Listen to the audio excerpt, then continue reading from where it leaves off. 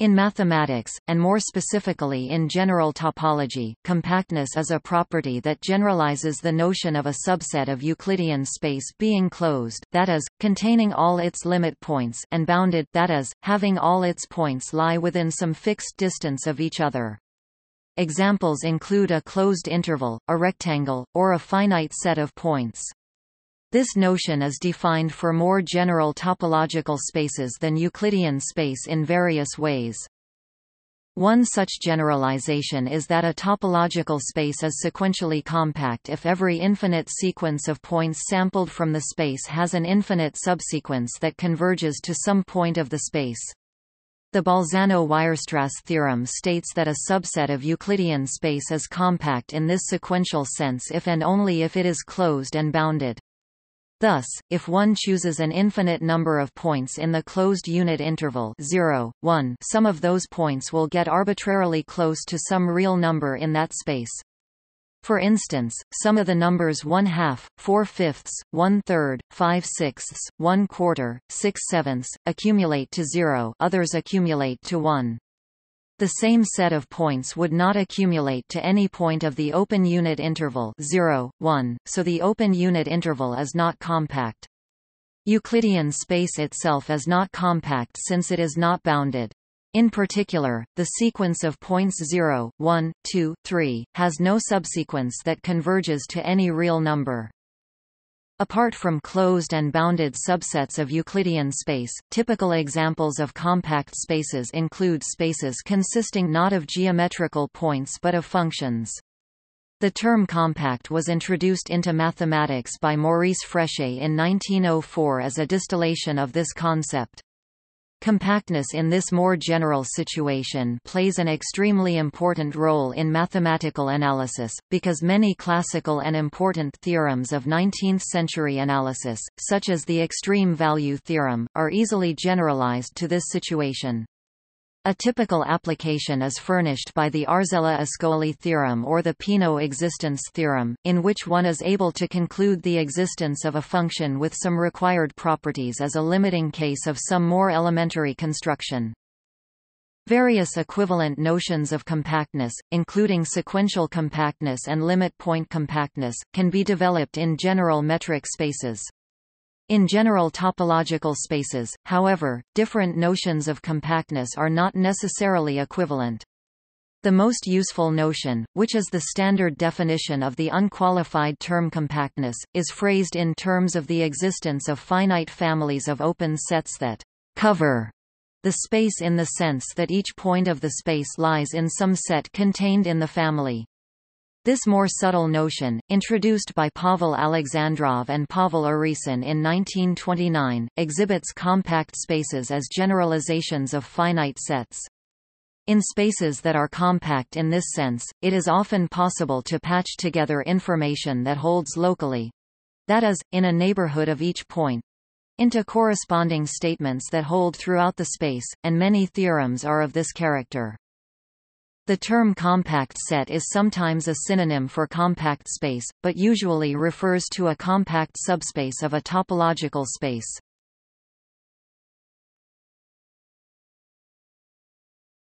Topic: Historical development. In the 19th century, several disparate mathematical properties were understood that would later be seen as consequences of compactness.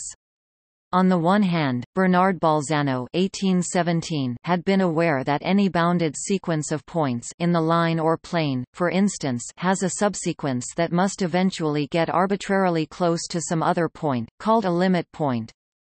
Bolzano's proof relied on the method of bisection. The sequence was placed into an interval that was then divided into two equal parts, and a part containing infinitely many terms of the sequence was selected. The process could then be repeated by dividing the resulting smaller interval into smaller and smaller parts until it closes down on the desired limit point. The full significance of Bolzano's theorem, and its method of proof, would not emerge until almost 50 years later when it was rediscovered by Karl Weierstrass. In the 1880s, it became clear that results similar to the Bolzano-Weierstrass theorem could be formulated for spaces of functions rather than just numbers or geometrical points. The idea of regarding functions as themselves points of a generalized space dates back to the investigations of Giulio Ascoli and Cesare Arzela. The culmination of their investigations, the Arzela-Ascoli theorem, was a generalization of the Bolzano-Weierstrass theorem to families of continuous functions, the precise conclusion of which was that it was possible to extract a uniformly convergent sequence of functions from a suitable family of functions. The uniform limit of this sequence then played precisely the same role as Bolzano's limit point. Towards the beginning of the 20th century, results similar to that of Arzela and Ascoli began to accumulate in the area of integral equations, as investigated by David Hilbert and Erhard Schmidt. For a certain class of Green's functions coming from solutions of integral equations, Schmidt had shown that a property analogous to the Arzela-Ascoli theorem held in the sense of mean convergence—or convergence in what would later be dubbed a Hilbert space. This ultimately led to the notion of a compact operator as an offshoot of the general notion of a compact space. It was Maurice Fréchet who, in 1906, had distilled the essence of the Bolzano-Weierstrass property and coined the term compactness to refer to this general phenomenon he used the term already in his 1904 paper which led to the famous 1906 thesis. However, a different notion of compactness altogether had also slowly emerged at the end of the 19th century from the study of the continuum, which was seen as fundamental for the rigorous formulation of analysis. In 1870, Eduard Heine showed that a continuous function defined on a closed and bounded interval was in fact uniformly continuous. In the course of the proof, he made use of a lemma that from any countable cover of the interval by smaller open intervals, it was possible to select a finite number of these that also covered it. The significance of this lemma was recognized by Émile Borel (1895), and it was generalized to arbitrary collections of intervals by Pierre Cousin (1895) and Henri Lebesgue (1904). The Heine-Borel theorem, as the result is now known, is another special property possessed by closed and bounded sets of real numbers. This property was significant because it allowed for the passage from local information about a set such as the continuity of a function to global information about the set such as the uniform continuity of a function. This sentiment was expressed by Lebesgue 1904, who also exploited it in the development of the integral now bearing his name. Ultimately the Russian school of point set topology, under the direction of Pavel Alexandrov and Pavel Urysohn, formulated Heine-Borel compactness in a way that could be applied to the modern notion of a topological space.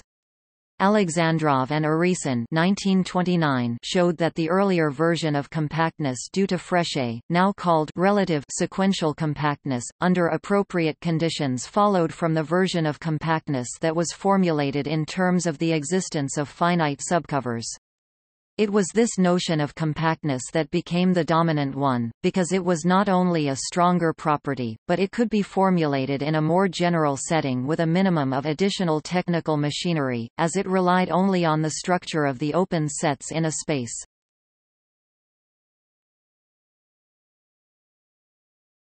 Topic. Basic examples Any finite space is trivially compact. A non-trivial example of a compact space is the closed unit interval 0, 1 of real numbers. If one chooses an infinite number of distinct points in the unit interval, then there must be some accumulation point in that interval. For instance, the odd-numbered terms of the sequence 1, 1 half, 1 third, 3 quarters, 1 fifth, 5 sixths, 1 seventh, 7 eighths, get arbitrarily close to zero, while the even-numbered ones get arbitrarily close to 1. The given example sequence shows the importance of including the boundary points of the interval, since the limit points must be in the space itself. An open or half-open interval of the real numbers is not compact. It is also crucial that the interval be bounded, since in the interval 0, infinity one could choose the sequence of points 0, 1, 2, 3, of which no subsequence ultimately gets arbitrarily close to any given real number. In two dimensions, closed disks are compact since for any infinite number of points sampled from a disk, some subset of those points must get arbitrarily close either to a point within the disk, or to a point on the boundary. However, an open disk is not compact, because a sequence of points can tend to the boundary without getting arbitrarily close to any point in the interior. Likewise, spheres are compact, but a sphere missing a point is not since a sequence of points can tend to the missing point, thereby not getting arbitrarily close to any point within the space. Lines and planes are not compact, since one can take a set of equally spaced points in any given direction without approaching any point.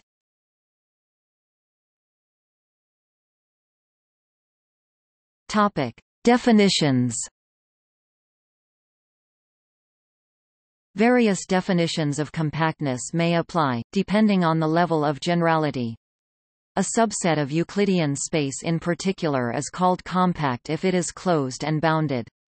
This implies, by the Bolzano-Weierstrass theorem, that any infinite sequence from the set has a subsequence that converges to a point in the set.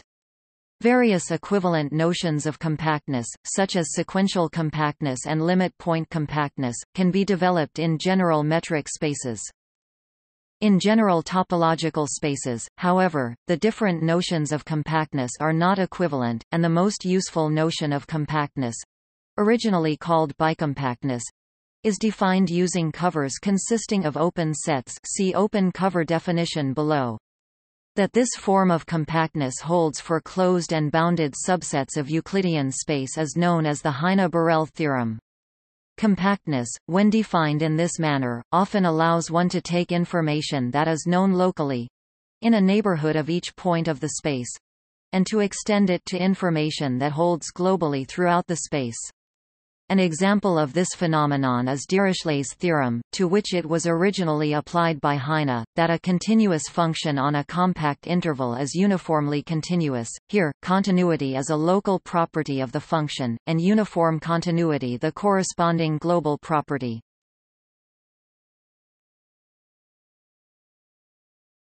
Topic: Open cover definition. Formally, a topological space X is called compact if each of its open covers has a finite subcover. That is, X is compact if for every collection C of open subsets of X such that X equals X element of C X display style X equals big cup underscore X in C X there is a finite subset f of C such that x equals x element of f x display style x equals big cup underscore x in f x some branches of mathematics such as algebraic geometry, typically influenced by the French school of Bourbaki, use the term quasi-compact for the general notion, and reserve the term compact for topological spaces that are both Hausdorff and quasi-compact. A compact set is sometimes referred to as a compactum, plural compacta.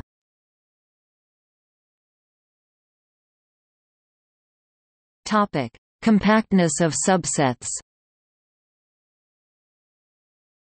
A subset K of a topological space X is said to be compact if it is compact as a subspace in the subspace topology.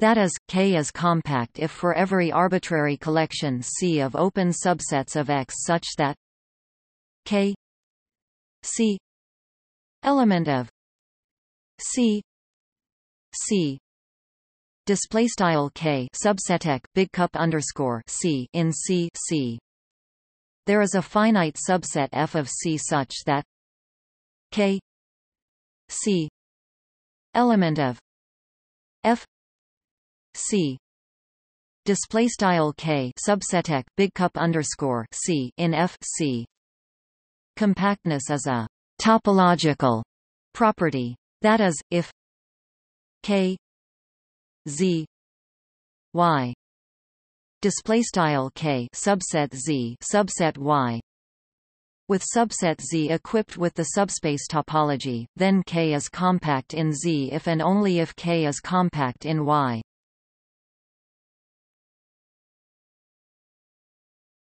Topic: Equivalent definitions.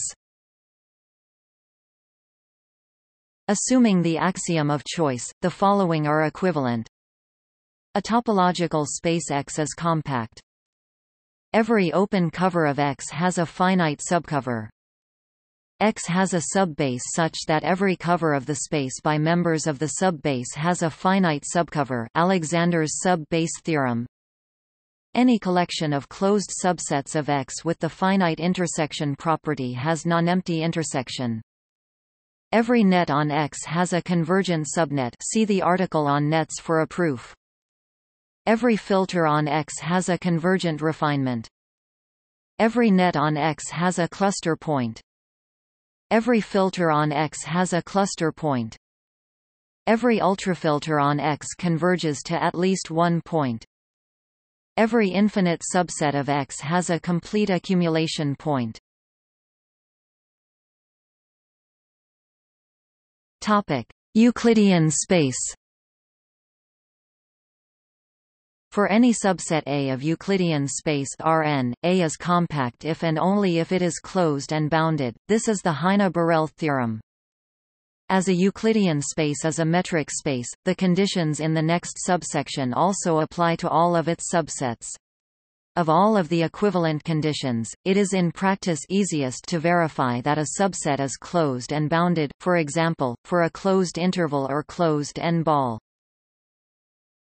Topic metric spaces For any metric space X, D, the following are equivalent, X, D is compact, X, D is complete and totally bounded. This is also equivalent to compactness for uniform spaces, X, D is sequentially compact, that is, every sequence in X has a convergent subsequence whose limit is in X. This is also equivalent to compactness for first countable uniform spaces, X, D is limit point compact, that is, every infinite subset of X has at least one limit point in X, X D is an image of a continuous function from the Cantor set. A compact metric space X, D also satisfies the following properties. Lebesgue's number lemma. For every open cover of X, there exists a number delta greater than zero such that every subset of X of diameter X, D is second countable, separable and Lindelof. These three conditions are equivalent for metric spaces.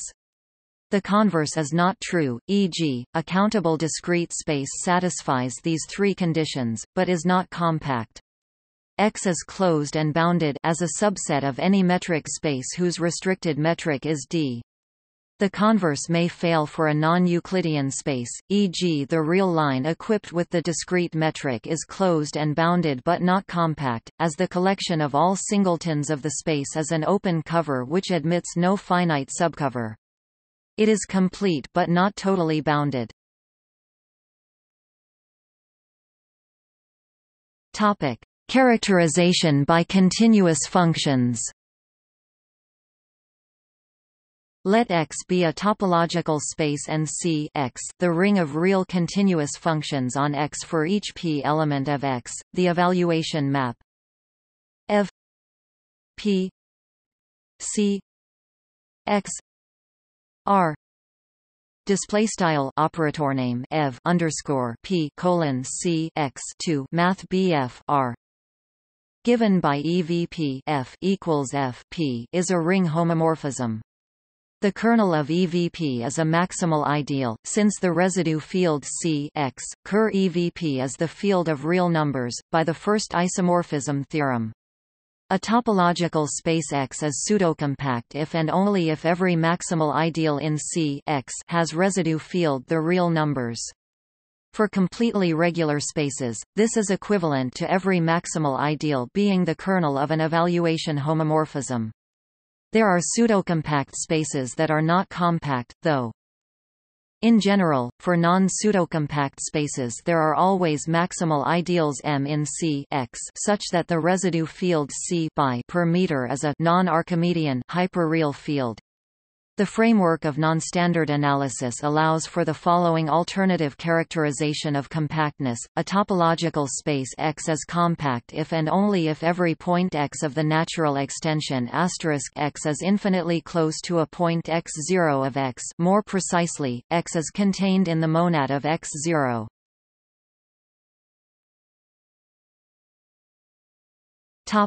Hyperreal definition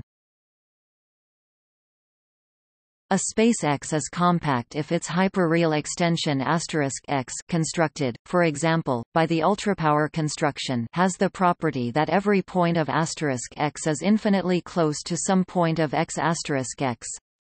For example, an open real interval X equals 0, 1 is not compact because its hyperreal extension asterisk 0, 1 contains infinitesimals, which are infinitely close to 0, which is not a point of X equals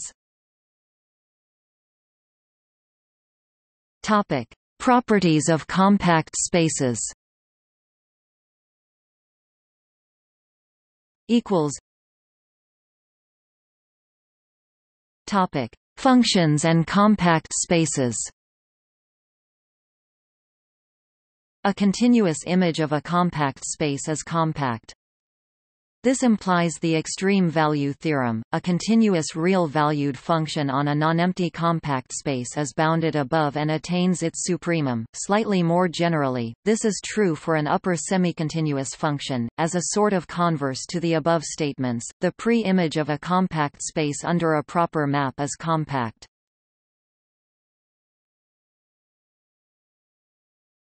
Topic: Compact spaces and set operations.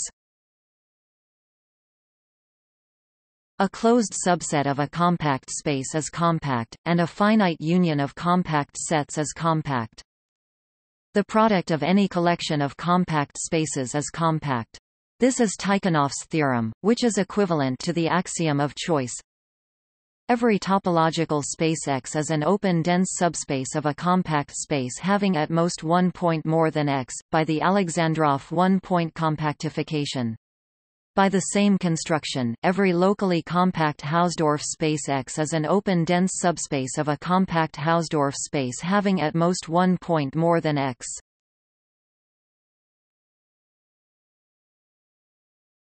Topic: Ordered compact spaces. A nonempty compact subset of the real numbers has a greatest element and a least element. Let X be a simply ordered set endowed with the order topology. Then X is compact if and only if X is a complete lattice i.e. all subsets have suprema and infima.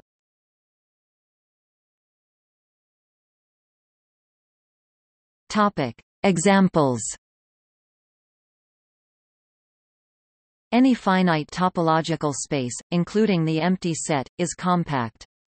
More generally, any space with a finite topology only finitely many open sets is compact, this includes in particular the trivial topology. Any space carrying the cofinite topology is compact. Any locally compact Hausdorff space can be turned into a compact space by adding a single point to it, by means of Alexandrov one-point compactification. The one-point compactification of R is homeomorphic to the circle S1, the one-point compactification of R2 is homeomorphic to the sphere S2. Using the one-point compactification, one can also easily construct compact spaces which are not Hausdorff, by starting with a non-Hausdorff space. The right-order topology or left-order topology on any bounded totally ordered set is compact. In particular, Sierpinski space is compact. No discrete space with an infinite number of points is compact. The collection of all singletons of the space is an open cover which admits no finite subcover. Finite discrete spaces are compact. In R carrying the lower limit topology, no uncountable set is compact. In the cocountable topology on an uncountable set, no infinite set is compact. Like the previous example, the space as a whole is not locally compact but is still Lindelof. The closed unit interval 0, 1 is compact. This follows from the Heine-Borel theorem. The open interval 0, 1 is not compact. The open cover 1 n 1 minus 1 n display style left frac 1 n 1 frac 1 n right for n equals 3 4 does not have a finite subcover Similarly, the set of rational numbers in the closed interval 0, 1 is not compact. The sets of rational numbers in the intervals 0, 1, pi minus 1, n and 1 pi plus 1 n 1 Display style left 0 frac 1 pi frac 1 n right text and left frac 1 pi plus frac 1 n 1 right. Cover all the rationals in 0 1 for n equals 4 5 but this cover does not have a finite subcover here, the sets are open in the subspace topology even though they are not open as subsets of R. The set R of all real numbers is not compact as there is a cover of open intervals that does not have a finite subcover. For example, intervals n-1, n plus 1, where n takes all integer values in Z, cover R but there is no finite subcover. On the other hand, the extended real number line carrying the analogous topology is compact. Note that the cover described above would never reach the points at infinity. In fact, the set has the homeomorphism to minus 1, 1 of mapping each infinity to its corresponding unit and every real number to its sign multiplied by the unique number in the positive part of interval that results in its absolute value when divided by 1 minus itself, and since homeomorphisms preserve covers, the Heine-Borel property can be inferred. For every natural number n, the n-sphere is compact. Again from the Heine-Borel theorem, the closed unit ball of any finite-dimensional normed vector space is compact. This is not true for infinite dimensions, in fact, a normed vector space is finite-dimensional if and only if its closed unit ball is compact. On the other hand, the closed unit ball of the dual of a normed space is compact for the weak asterisk topology, Alaoglu's theorem. The Cantor set is compact. In fact, every compact metric space is a continuous image of the Cantor set. Consider the set K of all functions f, r 0, 1 from the real number line to the closed unit interval, and define a topology on K so that a sequence f n displaystyle f underscore n in K converges towards f element of k display style f in k if and only if f n x display style f underscore n x converges towards f x for all real numbers x. There is only one such topology, it is called the topology of pointwise convergence or the product topology. Then K is a compact topological space, this follows from the Tychonoff theorem. Consider the set K of all functions f 0, 1, 0, 1 satisfying the Lipschitz condition f x minus f y x minus y for all x y element of 0, 1. Consider on K the metric induced by the uniform distance d f g equals sup x element of 0 1 f x minus g x. Display style d f g equals sup underscore x in 0 1 f x g x. Then by Arzela Ascoli theorem the space K is compact The spectrum of any bounded linear operator on a Banach space is a nonempty compact subset of the complex numbers C. Conversely, any compact subset of C arises in this manner, as the spectrum of some bounded linear operator. For instance, a diagonal operator on the Hilbert space 2 L 2 may have any compact nonempty subset of C as spectrum.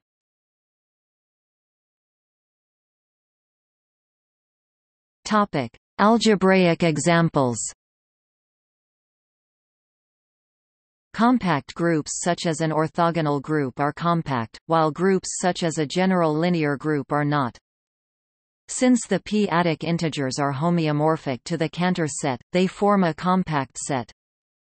The spectrum of any commutative ring with the Zariski topology that is, the set of all prime ideals is compact, but never Hausdorff except in trivial cases.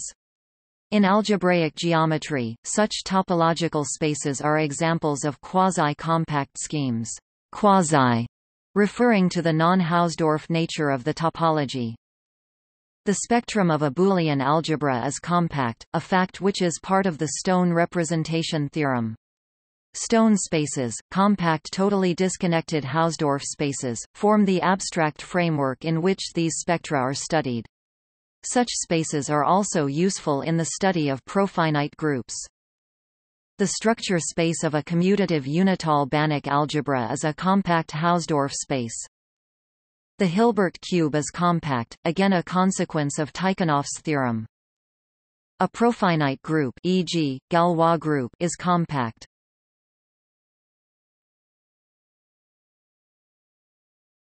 Topic. See also. Compactly generated space. Eberlein compactum. Exhaustion by compact sets. Lindelof space. Metacompact space. Noetherian topological space. Orthocompact space. Paracompact space. Notes